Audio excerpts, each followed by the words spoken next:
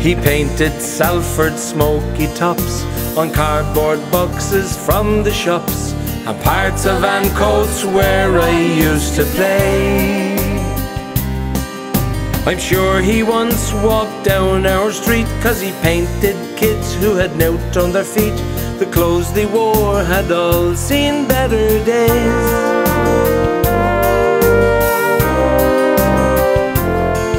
Now they said his works of art were dull. No room, old lad, the walls are full. But Lowry didn't care much anyway. They said he just paints cats and dogs and matchstalk men in boots and clogs. But Lowry said that's just the way they'll stay. And he painted matchstalk men and matchstalk cats and dogs. He painted kids on the corner of the street that were sparking clogs. Now he takes his brush and he waits outside them factory gates to paint his matchstalk men and matchstalk cats and dogs. Now canvas and brushes were wearing thin when London started calling him to come on down and wear the old flat cap. They said, Tell us all about your ways and all about them Salford days. Is it true you're just an ordinary chap? And he painted matchstalk men and matchstalk cats and dogs. He painted kids on the corner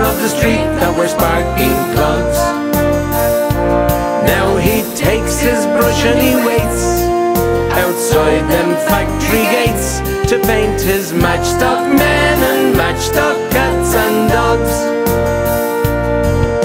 Now Lowry's hung upon the wall beside the greatest of them all, and even the Mona Lisa takes a bow.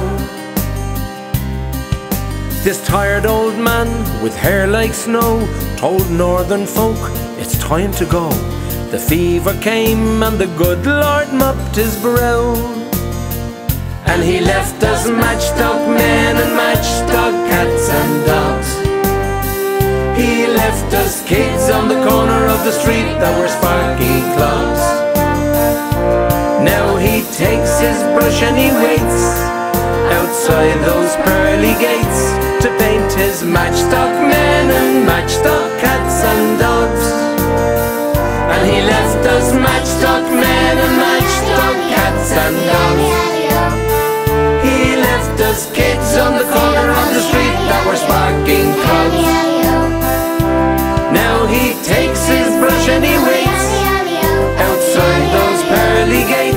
to paint his matchstalk men and matchstalk cats and dogs.